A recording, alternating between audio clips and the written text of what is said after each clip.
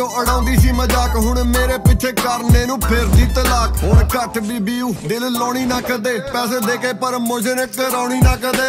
ਕਰ ਲੋ ਜੋ ਕਰਨਾ, ਕਰ ਲੋ ਜੋ ਕਰਨਾ। ਮੈਂ ਨਹੀਂ ਸੁਧਰਨਾ, ਮੈਂ ਨਹੀਂ ਸੁਧਰਨਾ। ਕਰ ਲੋ ਜੋ ਕਰਨਾ, ਕਰ ਲੋ ਜੋ ਕਰਨਾ। ਮੈਂ ਨਹੀਂ ਸੁਧਰਨਾ, ਮੈਂ ਨਹੀਂ ਸੁਧਰਨਾ। ਕਦੇ ਰਹਿੰਦੇ ਸੀ ਅਲਾਂਬੇ ਮੇਰੇ ਆਉਂਦੇ ਬਾਰ-ਬਾਰ ਮੈਨੂੰ ਭੇਜ ਕੇ ਕੈਨੇਡਾ ਬੜਾ ਖੁਸ਼ ਪਰਿਵਾਰ। ਕਹਿੰਦੇ ਹੁਣ ਤਾਂ ਜੀ ਮੁੰਡਾ ਸਾਡਾ ਲੱਗ ਜਾਣਾ ਪਾਰ। 7 ਸਾਲ ਹੋ ਗਏ, ਅਜੇ ਵੀ ਨਹੀਂ ਸੁਧਰਿਆ ਯਾਰ।